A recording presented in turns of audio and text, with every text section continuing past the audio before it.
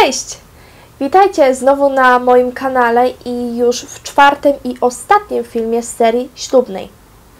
Więc dzisiaj przechodzimy już do samej zabawy weselnej na sali. Więc e, dzisiaj będzie interesująco, mam nadzieję, i troszeczkę wyjątkowo, bo w pozostałych e, trzech wcześniejszych filmach nie było żadnych nagrań z mojego ślubu, z mojego wesela, ale w tym wyjątkowo będą, bo mam takie nagrania i Wam je tutaj wrzucę, także mam nadzieję, że jesteście już podekscytowani, e, co się będzie działo ale jeszcze dla tych osób, które trafiły na ten film dopiero, a nie obejrzały wszystkich trzech poprzednich filmów związanych z tą serią, to zapraszam serdecznie do obejrzenia. Gdzieś Wam się tutaj powinny y, linki wyświetlić, ewentualnie możecie wejść y, na mój kanał i, i po prostu je znaleźć. Tak więc y, przechodźmy od razu do tematu dzisiejszego filmu. Tureckie wesela, zabawy weselne zaczynają się około godziny 18. No i jak już wszyscy goście zbiorą się na tej sali weselnej, to wtedy następuje oficjalnie przyjście, pojawienie się państwa młodych wśród gości. W tym czasie, kiedy zbierają się ci goście, najczęściej państwo młodzi siedzą w specjalnym do tego wyznaczonym pokoju, tak zwanym y, Gelin Odasy, czyli pokój panny młodej. Tam e, mają możliwość właśnie panna młoda może sobie poprawić makijaż, skorzystać z toalety. Bardzo często mają też tam przygotowany poczęstunek. No w każdym razie jest to taki ich pokój, e, żeby mogli sobie odpocząć i się przygotować do głównego wejścia. No i jak wygląda to wejście na salę weselną? No to już zależy od organizacji, od wizji państwa młodych i od tego, jak zorganizowano to na danej sali weselnej. Na przykład u nas po prostu weszliśmy głównym wejściem do sali weselnej, natomiast u szwagra wyglądało to nieco inaczej. E, oni zeszli z takiego jakby pietestału e, na sam dół po schodach.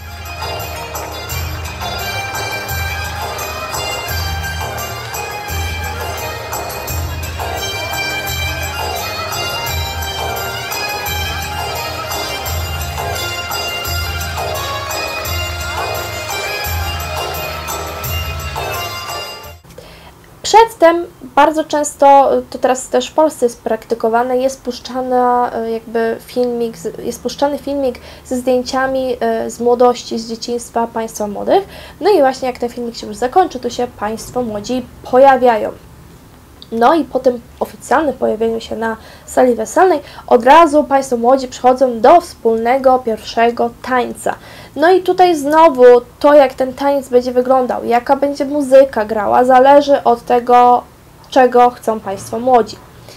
Na przykład my mieliśmy piosenkę zagraniczną, mieliśmy piosenkę Sinatry, inni mieliśmy żadnego, żadnej choreografii i tak dalej. Po prostu bujaliśmy się z nogi na nogę, e, ale jakoś, nie wiem, nie, nie, nie chcieliśmy jakichś tam zajęć z tańca i tak dalej. Natomiast wiem, że w Turcji są też praktykowane takie tańce. Kolega mojego męża z żoną właśnie tak postanowili i tańczyli na przykład walca. Oczywiście na zajęcia wcześniej chodzili i tak dalej. Więc e, no, wejście na salę łączy się od razu z pierwszym tańcem. No i jak to wszystko wygląda, jak wygląda ta sala? Bardzo często sale weselne są po prostu ogromne. E, mogą to być sale wesele zamknięte, mogą to być jakby takie sale weselne w formie ogrodu na zewnątrz. Bardzo często praktykowany jest ogród w takich e, miejscowościach nadmorskich, gdzie jest ciepło. Wyżywienie. Czy mamy tam wyżywienie? To też zależy od organizacji. Bardzo często jest tak, że na weselach tureckich się nie najecie. E, ja pierwszy raz jak poszłam na wesele tureckie, to w ogóle nic nie jadłam w domu, bo myślałam, przecież idziemy na wesele, to tam będzie wyżerka, przyzwyczajona do tego, co ja, e, co my mamy w Polsce, byłam tego wręcz pewna, a tymczasem okazało się, że na e, stole mm, były, był malutki poczęstunek w formie orzeszków, trochę owoców, było trochę ciasteczek i były chyba dwie butelki napoju, cola i fanta i na tym koniec. Także są najczęściej takie poczęstunki, takie wesela, ale są również wesela, gdzie jest normalny posiłek, obiad e, złożony z dwóch e, dań, z, z zupy, potem z drugiego dania są owoce na stole, są jakieś tam ciasta, ciasteczka i tak dalej. E, no ale na weselach w Turcji najczęściej nie ma alkoholu. Tak, dobrze słyszycie, nie ma alkoholu, bo to jak wiecie wynika po prostu z religii bardzo dużo osób nie pije, natomiast są też takie wesela, na których alkohol się normalnie pije. Tylko to są takie wesela już bardziej e, wśród e, rodzin nowoczesnych, e, albo na przykład w rodzinach, które nie są muzułmańskie, bo są też Turcy, którzy nie są muzułmanami. Tak przypominam, w razie czego, jeżeli ktoś bez Was nie wiedział. Bardzo często wesela też są urozmaicone jakimiś występami na przykład y, są y, atrakcje dla dzieci też robione y, w formie na przykład animatorów przebranych właśnie z jakiejś postaci, z jakiejś klauny i tak ale są tak jak mówię też występy, na przykład jakieś grup tanecznych, muzycznych i tak. Y, może być to też występ kogoś z rodziny, jeżeli ktoś na przykład pięknie śpiewa albo y, potrafi na czymś grać. Na przykład na naszym ślubie śpiewała koleżanka mojego męża i też y, zaśpiewał jedną czy dwie piosenki jeden turecki piosenkarz, który pochodzi z miasta rodzinnego mojego męża. Tak, więc tak było u nas, natomiast na weselu szwagra zagrał kuzyn, który gra na tureckim instrumencie nie jest tylko tureckie, ale na instrumencie saz. Więc e, takie atrakcje są. Coś trochę podobnego do, do polskich wesel. Tort. Oczywiście, jak to na każdym weselu, taki w Polsce jest tort. Tyle, że w Turcji najczęściej ten tort jest po prostu ogromny, tak? E, on składa się z kilku pięter. E, no, jak się widzi ten tort pierwszy raz, to jest po prostu takie wow ale najczęściej jest to tort sztuczny, jest to atrapa. Tylko jedna część y, od strony państwa młodych jest jakby mm, zarezerwowana na takie jakby prawdziwe ciasto, które jest wkomponowane w tą atrapę i nie widać totalnie różnicy. No i to jest też dlatego robione, żeby wiecie, żeby nie było dużo sprzątania, żeby nie było ryzyka, że się przewróci czy coś, a wiecie, w Turcji jest wszystko na pokaz, im więcej, im bardziej większy przepych, tym lepiej, więc taki duży tort y, powinien być. No i wtedy Państwo młodzi na środek wychodzą i wspólnie, razem taką jedną dużą szablą tną ten tort, no i potem y, siebie nawzajem jakby częstują. Czyli znowu również podobieństwo do polskiego. Ja Wam e, przyznam się, że totalnie w ogóle nie czuję tej, e, tej, tego w ogóle sztucznego tortu z kilkoma piętrami ogromnego, który jest sztuczny i wszyscy wiedzą, że jest sztuczny.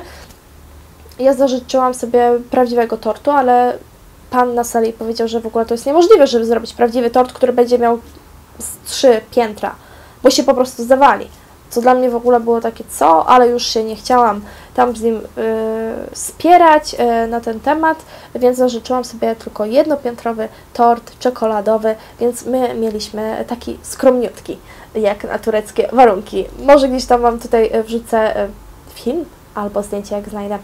Tak. Dalej, podarunki. Co się podarowuje na tureckich weselach? Więc w przeciwieństwie do polskich, bo w polskich, e, na polskich weselach e, można podarować właśnie e, pieniążki albo można podarować jakieś sprzęty, które mogą się przydać Państwu młodym, to w Turcji daruje się tylko pieniążki i złoto. I koniec. Nie, nie ma jakichś tam innych podarunków mile widzianych, tak? No i te właśnie Pieniążki bardzo często są w obcych walutach, najlepiej w euro albo w dolarach. E, są też właśnie, oczywiście można też podarować w lirach tureckich. Natomiast złoto bardzo często ma formę takich jakby małych złotych monet. E, rodzina bliższa, bliżsi przyjaciele bardzo często podarowują złote bransolety, które są o wiele droższe. Są też takie śluby, gdzie pannie młodej się na, mm, jakby w pasie zapina złoty pas, który jest super, hiper drogi, bo może dojść cena do 15, 20, a nawet wzwyż, yy, w zależności od tego, jaki to jest rodzaj złota i ile gram. waży taki pas, więc to są naprawdę kolosalne tłumy, y, tłumy, to są naprawdę kolosalne ceny i tak naprawdę koszt jakby wyprawienia wesela bardzo często jest o wiele, wiele niższy od tego, ile złota i ile pieniążków zbiorą Państwo młodzi. W ogóle im więcej złota, im więcej kasy, tym Państwo młodzi są o wiele bardziej dumni, bo wiecie, mo mogą pokazać jak szczodrzy byli goście, jaka rodzina jest bogata i tak dalej. Im panna młoda ma więcej tych bransolet na ręce, tym lepiej. No ale same te przekazanie prezentów y, bardzo często ma y, jakby różnie się odbywa. Na naszym weselu polegało to na tym, że my, ja razem z mężem, chodziliśmy od stolika do stolika y, gości, ich witaliśmy i oni nam wtedy życzyli mm, szczęścia i tak dalej i podarowali prezenty. U szwagra było to tak, że oni stanęli na środku sali i goście po prostu y, podchodzili po kolei i zawieszali im złoto bądź y, pieniążki, bo najczęściej te złote pieniążki się wiesza na takich harfach. Harfy są albo takie przełożone, albo po prostu je wiszą, można zawiesić, pieniążki można włożyć do koperty. Ogólnie chodzi o to, żeby pokazać, wiecie, żeby być przystrojonym jak choinka tymi wszystkimi rzeczami. Potem to się oczywiście ściąga, zostają tylko bransolety na pannie młodej, żeby wszyscy widzieli. No i bardzo często tą całą sytuację filmuje kamera. Filmuje kamera, wiecie dlaczego? Dlatego, że w Turcji jest przyjęte tyle, ile dajesz, tyle potem ty dostaniesz. Więc Kamera filmuje po to, żeby ktoś po prostu nie musiał stać z notesem zapisywać, że jakaś tam e, ciotka Fatma dała Ci bransoletę e, o gramaturze e, 20, e, 20 gram ze złota o takiej takiej wartości, tylko Ty sobie potem to w domu obejrzysz i możesz sobie zapisać kto ile co dał i potem, jeżeli na przykład jakaś ciocia właśnie dała Ci bransoletę e, ważącą 20 gram, e, no to e, teście bądź Twoi rodzice, którzy potem pójdą na wesele jej córki albo syna, są zobowiązani, żeby dać, podarować tyle samo złota.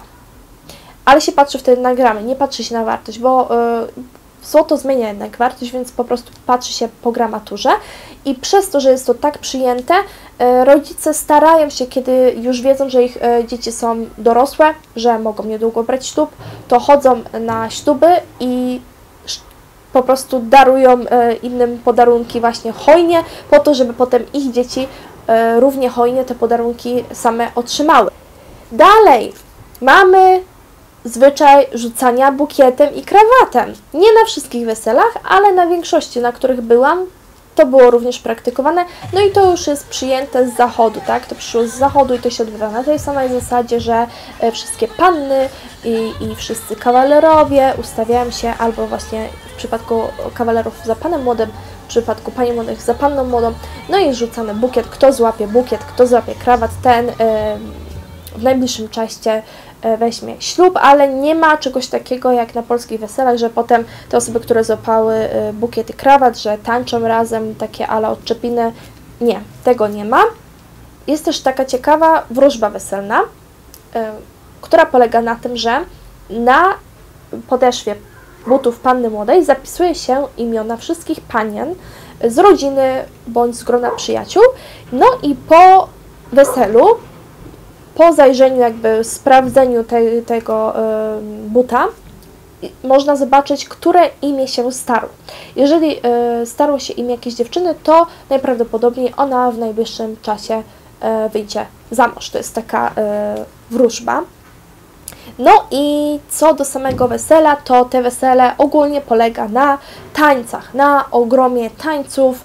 Y, taniec turecki no nie przypomina tego, które znamy w Polsce. Najczęściej jest y, grana muzyka turecka, bardzo rzadko zagraniczna, bardzo rzadko są takie, to już muszą być takie nowoczesne wesela, żeby grała muzyka zagraniczna, więc przeważa muzyka turecka. Bardzo często też jest to muzyka z regionu, z jakiego pochodzą Państwo młodzi. Y, no i te tańce tureckie wyglądają inaczej. Tańczy się y, oczywiście halaj, tańczy się właśnie typowy turecki taniec, y, o którym postaram się dla Was nagrać y, film i wyjaśnić na czym polega. Ogólnie jeszcze podczas tańców w Turcji na weselu nie jest przyjęte coś takiego, że na przykład yy, jakiś tam kuzyn poprosi jakąś tam kuzynkę swoją do tańca, bo ogólnie Turcy bardzo często są zazdrośni. Więc nie ma takiej możliwości, kiedy ja na przykład idę na ślub e, kogoś z rodziny ze swoim mężem i na przykład kuzyn mojego męża podejdzie i spyta się mnie, czy e, z nim zatańczę, albo e, jakiś tam kolega, tak? Bo to jest po prostu odbierane jako złe, bo mogą wyniknąć bójki. No, ogólnie takie, takie mamy, taki mamy klimat w Turcji, więc po prostu jak idziemy na ślub, to tańczymy albo w gronie znajomych, tak wśród znajomych, tam oczywiście mogą mężczyźni ko kobiety tańczyć, ale chodzi o takie tańce, wiecie, że się łapie y, kobietę w pasie, za rękę, y, także takie tańce odpadają z obcymi mężczyznami, tylko właśnie z mężem, z narzeczonym i tak. No i koniec wesela. Wesele w Turcji kończy się około 23. Tak, to nie jest żart, to jest fakt. Y, wesela w Turcji trwają krótko. Natomiast bardzo często też Państwo młodzi jakby robią sobie takie after party po y, ślubie, mm, jadą na przykład do klubu, albo właśnie dalej na tej sali weselnej zostają już tylko przyjaciele, kuzynostwo i tak dalej, sami młodzi ludzie. Jest taka ala dyskoteka i tak dalej, ale to już jest praktykowane wśród młodych ludzi. No i po weselu Państwo młodzi mogą już oficjalnie pierwszy raz spędzić wspólnie noc. Najczęściej mają oni jakby wynajętą specjalną e, specjalny pokój dla nowożeńców w e, hotelu. W Turcji też są praktykowane oczywiście podróże poślubne.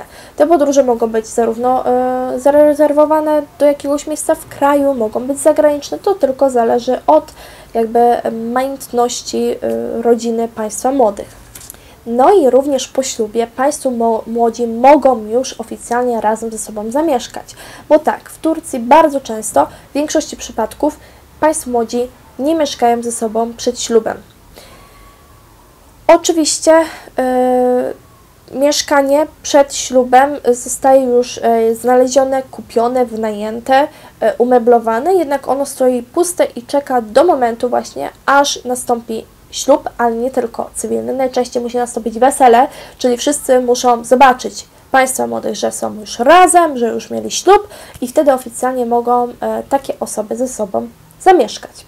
Organizacja wesela jak ona wygląda? Organiza za organizację wesela odpowiada rodzina pana młodego, więc wszelkie koszty z tym związane spadają właśnie e, na e, rodziców pana młodego.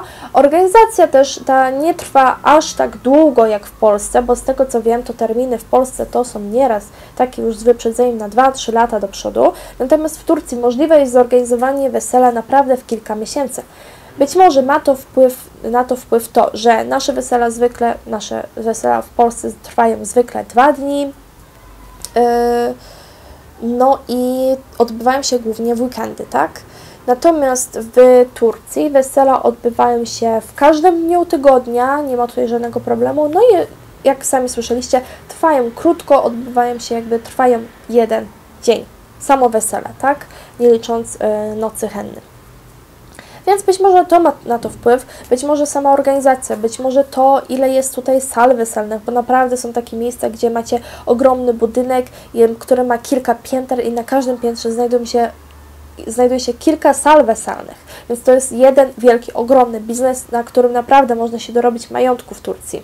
Jeszcze pomówmy o tym przygotowaniu mieszkania, bo to się bardzo silnie wiąże właśnie ze ślubem. Skoro Państwo młodzi mogą dopiero zamieszkać po ślubie, to jak to wygląda z organizacją mieszkania. Więc te mieszkanie, tak jak wspomniałam wcześniej, Państwo młodzi przed ślubem już y, szukają sobie, żeby wynająć, czy tam kupić, jeżeli mają pieniążki, jak to, y, jak to wszystko wyposażają sobie. Więc to też jest bardzo interesujący i ciekawy temat, bo bardzo często te wyposażenie mieszkania spada też na barki rodziców, panny młodej i pana młodego. Tyle, że jest podział. Za sypialnię i za kuchnię odpowiada rodzina panny młodej. Za pozostałe pomieszczenia, których przypominam najczęściej y, tureckie mieszkania mają cztery pokoje, y, odpowiada rodzina pana młodego. No więc y, przed ślubem samym już Państwo młodzi mają jakby naszykowane mieszkanie, mają umeblowane, mają dywany, mają y, talerze, mają tak naprawdę całe mieszkanie jest przygotowane do ich wprowadzki. Więc to jest też z jednej strony postrzegane negatywnie, tak, że jakby ten obowiązek, te koszty spadają na rodzinę państwa młodych. Z drugiej strony jest to też fajne, bo jednak państwo młodzi mają ułatwiony start E, bo mają już umeblowane w pełni mieszkanie, nie muszą się takimi rzeczami martwić. Dodatkowo zebrali złoto i pieniążki z wesela, które mogą zainwestować na przykład w samochód, kupno samochodu bądź kupno mieszkania.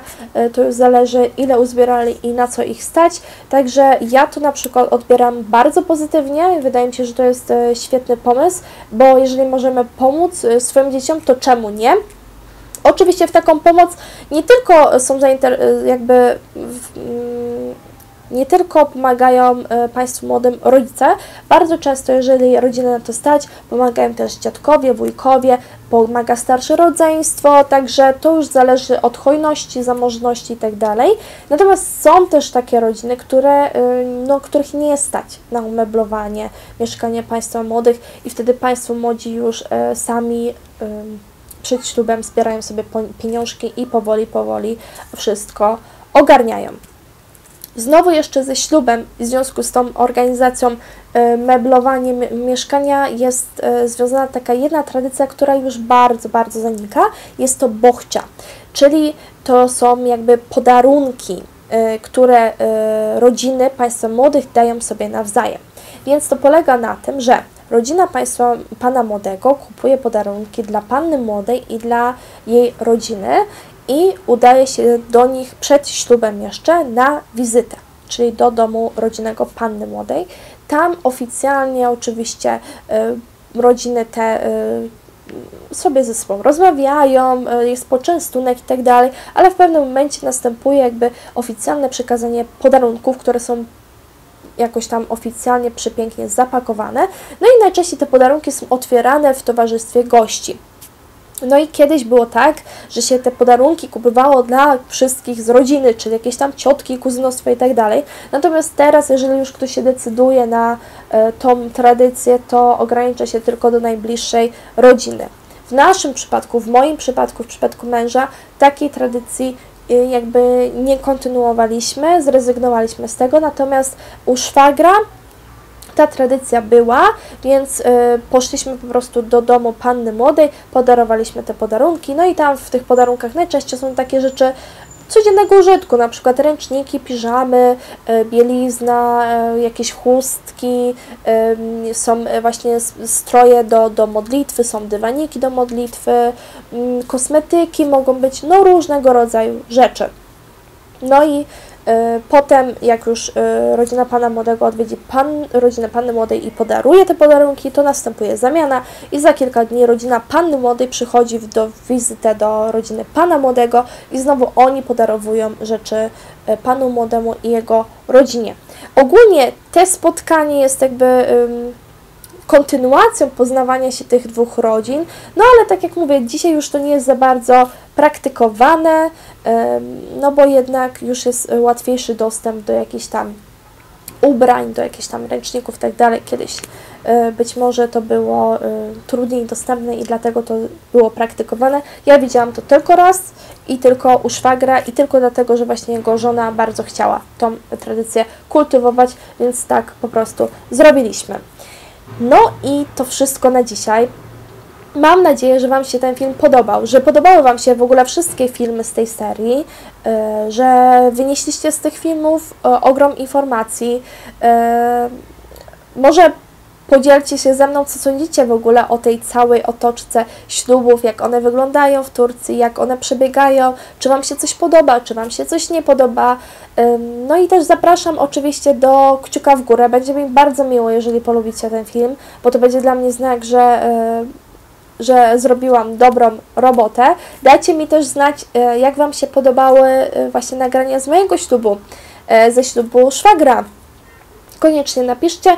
No i jeżeli interesuje Was życie w Turcji, jakaś e, właśnie turecka kultura, zwyczaje, ale też w ogóle normalne życie, to zapraszam do subskrybowania mojego kanału i również zapraszam na mój Instagram, na którym staram się codziennie coś tam pokazywać, e, o czymś napisać i jestem tam w stałym kontakcie e, z osobami, które mnie obserwują. Więc e, zapraszam Was do oglądania e, następnych filmów, które mam nadzieję, że pojawią się niebawem na moim kanale. E, I chyba to tyle. Do zobaczenia!